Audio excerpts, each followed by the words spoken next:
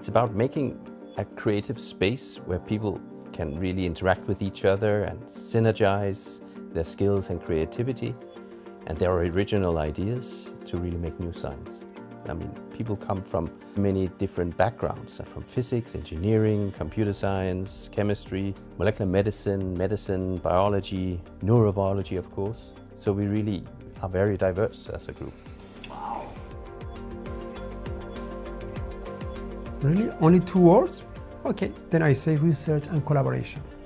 Unlike many other institutions and departments, we are only focusing on our own research. We are not distracted by administrative works and not by heavy loads of teaching.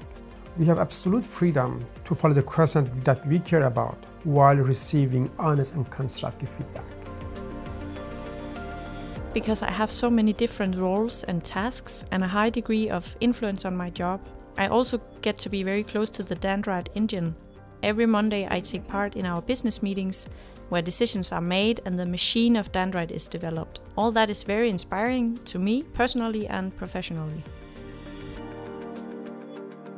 I consider to be absolutely outstanding and we have availability to cutting edge technology.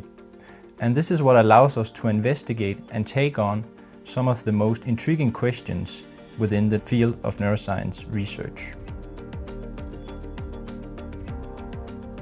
A great place uh, to be. I feel like I can uh, grow here because uh, uh, as a lab technician I can also still get my own project or work very close with PhD students or postdocs and uh, be a part of the scientific publication.